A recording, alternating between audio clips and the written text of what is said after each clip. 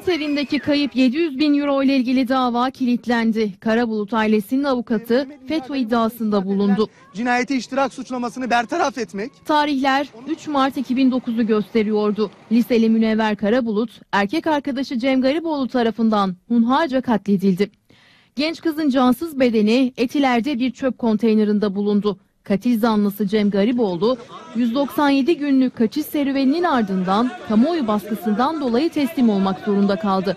Yargılandı, 24 yıl hapis cezasına çarptırıldı.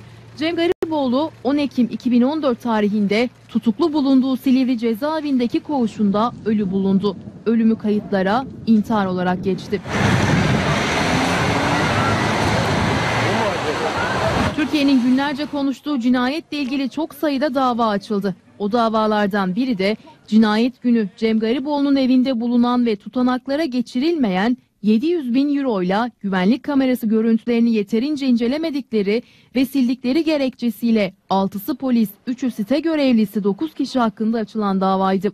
6 polis hakkında görevi kötüye kullanmak suçundan 3'er yıla kadar site görevlileri hakkında da suç delillerini yok etme, gizleme veya değiştirme suçlarından 5'er yıl hapis cezası istendi. Ancak yıllardır devam eden dava hazırlanamayan bilirkişi raporu yüzünden kilitlendi. Ve Karabulut ailesinin avukatı Rezzan Ep Özdemir çarpıcı bir iddiayı gündeme getirdi.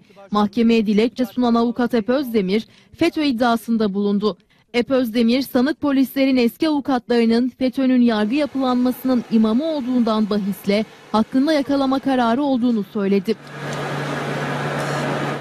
Dosyanın incelenmek üzere gönderildiği tüm bilimsel kuruluşların dosyayı incelemeden çeşitli bahanelerle göndermesi kafalarda soru işaretleri oluşturmakta olup bu durum manidar ve düşündürücüdür. 8 yıldır hukuk mücadelesi veriyoruz. Artık isyan ediyoruz. Bir an önce bilirkişi incelemesi yapılmasını istiyoruz.